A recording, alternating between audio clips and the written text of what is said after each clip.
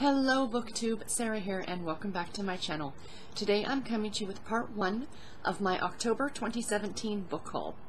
I've bought a lot of books in the last couple weeks guys, like a lot. 24 of them to be exact. that includes two physical books that came in the mail, so um, yeah. To make sure this video is not super duper long, I'm not going to get into too much detail about what all these books are about. I'll give you a little bit of a description of the book or some details about the book. And as per usual, all the books that I talk about will be linked in the description box below. So please feel free to go check them out for yourself if they sound interesting to you. So, starting off. Also, pretty much all these books, I'll mention the ones that I didn't. I paid, I got them on sale, essentially, every single one. Um, so the first one is Murder Wears Mittens, and this is by Sally Goldenbaum, Goldenbaum, excuse me. This is the first book in the Seaside Knitters Society. I was super excited to see this one on um, an ebook deal because I think the ebook is almost $9. And I've had it on my wish list for a while and I saw it drop down to like $2 and I'm like, yes, please. So this is a cozy mystery about um, knitting, essentially. Um, the next book is Race Against Time by Sharon Sala. Um, this is a standalone novel. It is a romantic suspense novel, and again, I got on sale. Sharon Sala is a great author. I highly recommend her. Um, the next book is Lassoed by B.J. Daniels. This is a Harlequin intrigue novel. I'm kind of doing some of this off the top of my head without looking. Um, another one that was on sale. It's rare to come across B.J. Daniels books on sale because she is a very prolific author and her books can be a bit pricey, even the intrigue novels and stuff like that. They very rarely go on sale, so when I saw this one on sale, I immediately scooped it up. Um, next up is A Home of Her Own by Brenda Novak. Um, this is book number, I think it's four, four in the Dundee, Idaho series. Uh, this is a Harlequin super romance. It has been republished with a different cover, so keep that in mind if you're looking for it on Amazon. Um, it is just a contemporary romance novel. Um, next up is Rescued by the Highland Warrior by Michelle Willingham. Willingham, excuse me. This is a novella, and this is a Harlequin historical novella. That guy's very intense looking, isn't he? I got this and I was showing the cover to my friends, and I'm like, look at this. Doesn't he kind of remind you of Captain Jack Sparrow? And my friends are like, no. He looks like Orlando Bloom's character in Pirates of the Caribbean, and I can kind of see that too. But he's very intense, don't you think? But yes, I didn't realize it until I was adding this to Goodreads that it is a novella, so that's fine. And I also believe that this is a medieval historical romance, so that's a little different.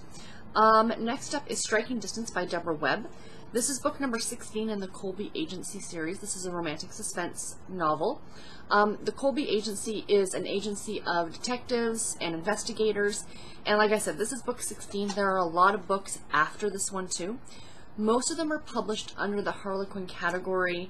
I think they're either romantic suspense or intrigue. I can't remember what book series they're published under.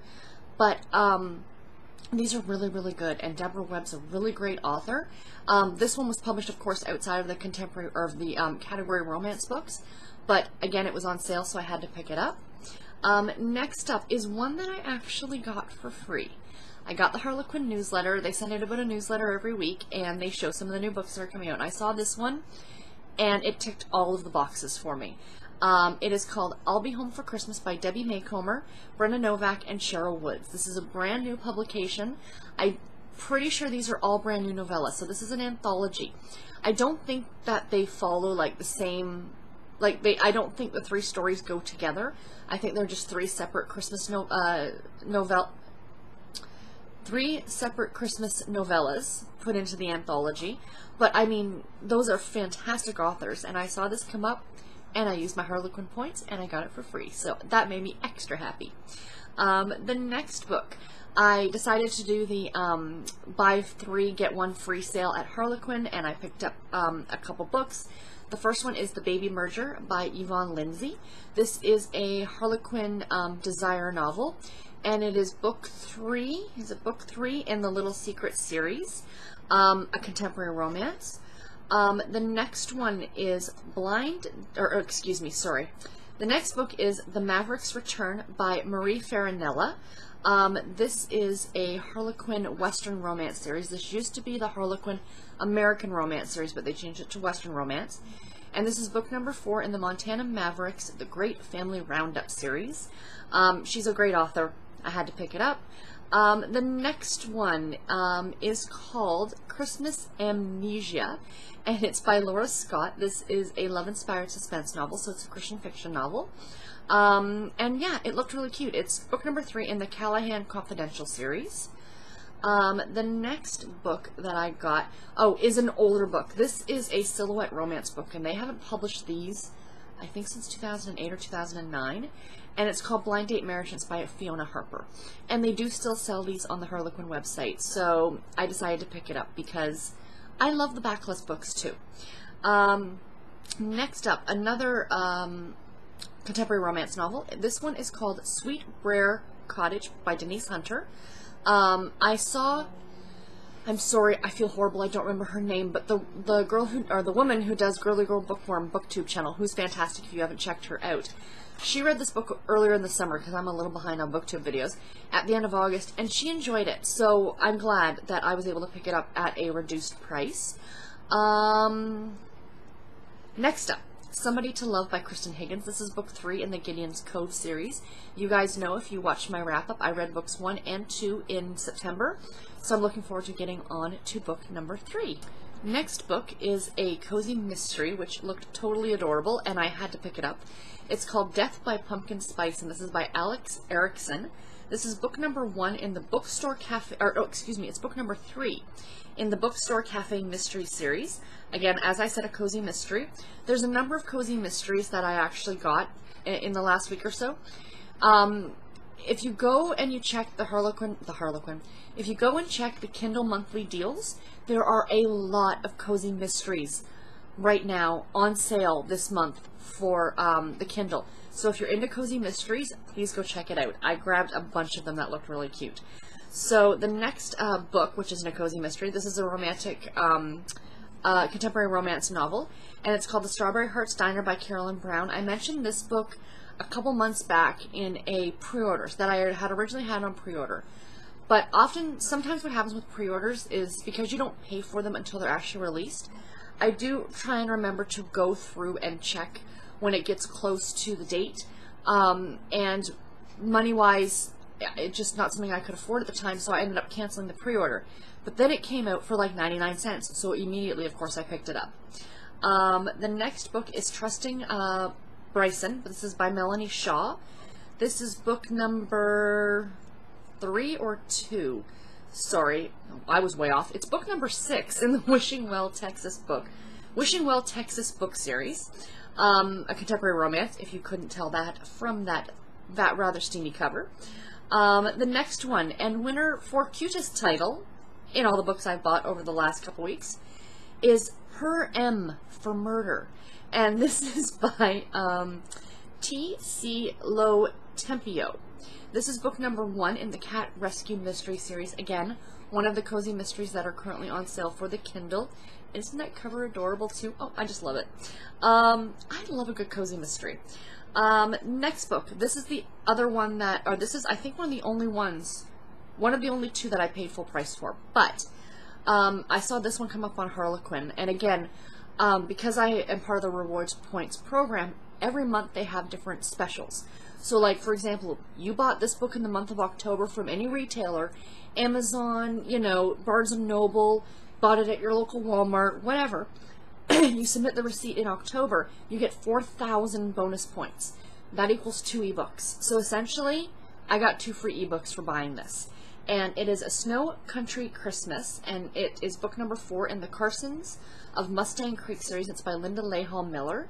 Um, I love her writing. She does great westerns, great Christmas stories, and I didn't mind paying full price again because I was essentially getting two free ebooks with the deal. Um, I can justify just about anything, people believe me. Um, the next book is uh, A Deep Grave. Is that what it's called? I didn't think that's what it was called, but that's what I wrote down. Bear with me. A Deeper Grave. See, I knew it was wrong. A Deeper Grave by Deborah Webb, another Deborah Webb book. This is book number two in the Shades of Death series. This is a romantic suspense series. I bought book number one, I think, last month on a deal. This one came up, so of course, why not pick it up? I'll get to them all eventually. Um, next book. Um, I don't remember where I heard about this book, but it went on my wish list, and then I did the whole, you know, um, sort it to see if price drops, and this one had a price drop to like 99 cents, I think. So I picked it up. And it's The Lady Traveler's Guide to Scoundrels and Other Gentlemen. And that's by Victoria Alexander, and it's book number one in the Lady Travelers Society. Um, this is a historical romance, historical fictional mystery. Looked really cute. That cover is just stunning. And yeah, I'm very much looking forward to that one. It's so weird because historicals was something I really wasn't into for the longest time, but now this year, I seem to have really, like, found my groove for historical romance novels, and I'm really, really enjoying them. Um, next book, I talked about this book very briefly if you watched um, the last video I posted, my book club news video.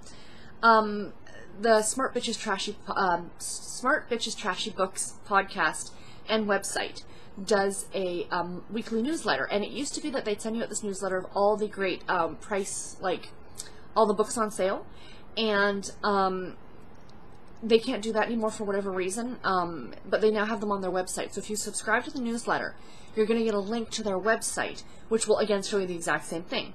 Well, this book was posted at the top because it's written by Sarah Wendell, who is the creator of that website and podcast and it's called Lighting the Flames, and it is a Hanukkah romance novel. So, unlike the typical Christmas novels that we see a lot of this time of, or in December, this is a Hanukkah story, and I'm super, super excited.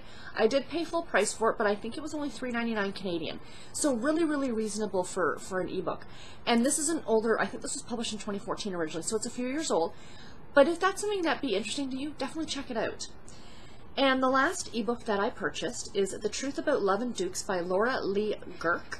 Um, this is book number, sorry, I should have had this clicked on already. Book number one in the Dear Lady True Love series. I read um, this author in the anthology, um, um, Four Weddings and a Sixpence anthology that I read in September that I really, really enjoyed. So now I'm looking for these authors, and this one was on that newsletter that I just talked about. So I decided to scoop it up because I think it was like 99 cents or something. So yeah, so those are all the ebooks that I've bought. Um, let's get into the two physical books, and they are both middle grade books. Um, one is more of a reference book, if you will, so I'll show you that one first. This book I bought when it was originally published, and in all the moves and all the years, it has gone missing. So I decided to go ahead and pick it up because I found it on Thrift Books and that is the Complete Guide to the Babysitter's Club. And it says absolutely positively everything you've always wanted to know about the Babysitter's Club. With a new updated full color map of Stoneybrook inside. I mean, seriously, as a collector, I had to pick this up. Now, it's not in the greatest of condition, but I don't care. Um, someone, someone loved this book as far as I'm concerned. But what I was really happy about is the map was still intact. So there's the map. Kind of hard to see. But over here, on this side, there's a key, and it tells you where all the houses are. Now, obviously, this isn't 100% detailed, obviously, but I guess it just shows you in conjunction to other people, like, you know, Kristy lives up here, sorry, and the school is over here, you know what I mean. But this book is, research went into this book, people, so I gotta show you this really, really quickly. Um, so, it goes by the contents. Club facts, BSC members, so each of the members of the Babysitters Club, including um, Logan and Shannon, and Abby, who comes in later, just before book number 100. BSC family members, um, clients, other people in town, like other people like students and teachers, and other kids, um, other adults, merchants at the mall, um, places like towns and streets, um, things like different um, books and magazines and stuff that are talked about, beyond Stoneybrook, it says like in California, Dawn in California with the We Love Kids Club, when they travel to Hawaii, um, uh, you know, all these other, in New York City, Stacey's friends, um, and all the different places that they've traveled to. But, so, I just have to show you because this just blows me away. Um, so, for example, I'll just show you guys. Claudia Kishi. So here's Claudia's chapter, right? So you get, and you guys are not going to be able to see this because my camera is trash and does not focus, but it gives like date of birth, her age as of what book, like as of book number 10 on, she was 13 years old, the narrator of all of these books, um, her position in the club, and then it goes to like current address, Um, personal info, physical description. It says, for example, 5 foot 4 inches, second generation Japanese American. Then in parentheses it says number 92, page 19. That means that description came from book number 92, page 19. That is throughout the entire book. So you pick any random fact here. Maureen McGill, who I believe is Stacey's mother. I just flipped to this just at random.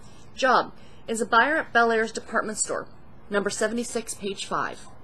You know, like, and it goes through, like, charges, and, I mean, towns and streets in Stoneybrook. Like, really? Um, like it says Bertrand Drive, where Granny and Pop Pop live. You know, like, it's just, it's, it's the most, it's so comprehensive. But again, I bought it not for any kind of research. I'm never going to read this cover to cover, but it's just fun, and it's just so much fun to have. And I do have to admit, of all the Baby Babysitters Club covers that there ever were, that is probably my very favorite picture of the girls, of the girls in the club. I don't know what it is about that drawing. I think it's absolutely gorgeous. And in all honesty, I would love to get like a print of that to put on the wall. You know, no, I know I'm not 13. I'm 38. But I still think like if I had like a room for all my books and stuff, that that would be adorable. Uh, you know, or just to have this cover. Like, you know, I just love that picture. So, middle grade book number one. The second one is also a Babysitter's Club book. And this one, I'm excited, but I'm disappointed. When I saw this was coming out, I immediately put it on pre-order with Amazon. And it showed up this week. And this is the fifth graphic novel, uh, Dawn and the Impossible 3. The reason I'm, the two reasons I'm disappointed in this. One, they changed the, um, the graphic novel, like the person who did the graphic novel. The, the original four books were done by, um, Raina Telgemeier, she does uh, the best-selling author of Smile. And her drawings, if I may, are just stunning. Like, that's what really, truly made me fall in love with these books. Like, look at them. I just love the way the people look. I love the drawings. If you guys have seen these, I mean, you know, the images of the girls in the club, it's just so utterly perfect as to, you know, how they look. They're Stacey and Claudia. Like, it's great. I'm not as happy with the drawings in this book. I'm sorry. Um, you know, I just don't like the style as much. They're still kind of cartoonish, but they almost seem a little harsher. I don't know. I don't know. I'm not loving them. Um, they're not bad, but they're not great. Um, you know, and everybody's different. Other people might prefer this over the other one, and that's fine, and I get that. Um, they it seems a little darker. I don't know why, but it does. The other thing that kind of rather annoyed me about this is the book I just read, which was Hello Mallory, book number 14 in the series. Mallory joins the Babysitters Club in this book. This was book number 5. Mallory doesn't join until book number 14. So they merged Mallory's book with Dawn's with this book. And that as as a true Babysitters Club fan, that annoys me. I'm sorry. Um, I really wish they would have stayed true to the stories for these and I'm still upset that they skipped book number two because that would have made an amazing graphic novel. You know, if you were going to do it, just release the first five books, release them true to the books, to, true to the original text, and don't try and change the story because, uh, like, I was flipping through this and I'm like, why is Mallory at a Babysitters Club meeting? And then I kind of read it, and then I realized obviously they had to change the text of the book in order to bring Mallory into the Babysitters Club and I don't know. I was just really, really disappointed in it. Um, you know, not really disappointed. I'm glad I have it, but it's not what I was hoping it was going to be. So that is a disappointment. Anyway, guys, this video is far too long as it is, so I am going to let you guys go. Um, I hope you enjoyed this book haul. Please let me know in the comments below um, any books that you've bought recently, gotten any good deals. Like I said, if you're into cozy mysteries, please go check out the Amazon um, the Kindle monthly deals and check out all the um, Cozy Mysteries that are currently on sale. I didn't buy all of them right now. I have a special other little sub um, um, wish list on Amazon that when I, I go through all the books that are on sale for that month and I stick them all on that wish list, all the ones that I want, and then throughout the month I might buy one or two or 12. You know, whatever. Anyway, guys, I will talk to you in my next video. Until then, take care and happy reading, everybody. Bye.